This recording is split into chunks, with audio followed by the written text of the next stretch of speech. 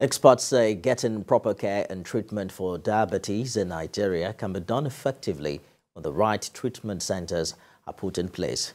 This was disclosed at an inspection tour of a diabetic center in the Gwagwalada area of the Federal Capital Territory. Kemi Balogun has details and will return with business news. Considered as one of the silent epidemics, diabetes remains one of the most concerning public health diseases. Diabetic cases keep rising, and experts have admitted that without proper and early diagnosis, many more numbers will be added.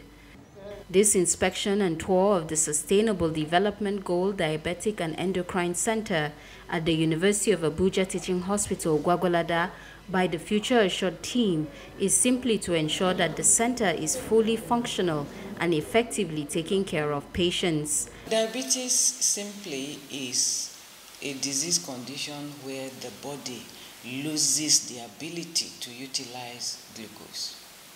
Creating a place that you know patients come and they feel they feel comfortable, they feel happy. As you can see, it doesn't really look typically like the normal hospital that you know.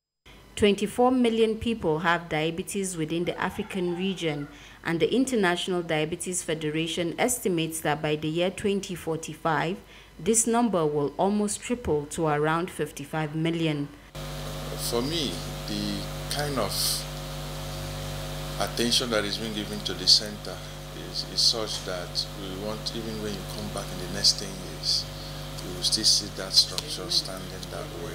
The commission of this center were able to run um, endocrine and um, diabetes clinic at least twice a week. So they were able to see more patients and they were able to give more attention to our patients and the patients inflow uh, has been more and patients are very happy for it since we are able to give them more attention.